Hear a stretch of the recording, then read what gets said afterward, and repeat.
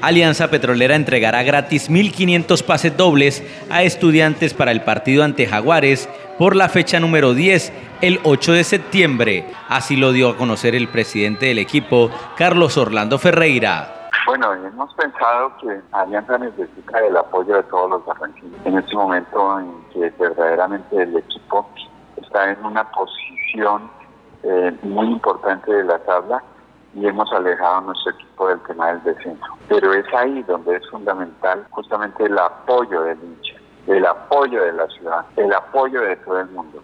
La idea es que el hincha y fiel seguidor como jugador número 12 sea fundamental durante cada encuentro, en especial en este que se jugará por la fecha número 10 frente a un rival directo como Jaguares. Y para ello pues vamos a invitar a 1.500 jóvenes de los colegios públicos y privados de la ciudad con su acompañante para que sean estas 3.000 voces una voz más de apoyo y que logremos enamorar a esta ciudad del equipo de su equipo.